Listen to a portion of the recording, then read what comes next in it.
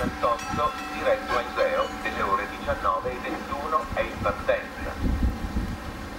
Prestare attenzione, non attraversare i binari.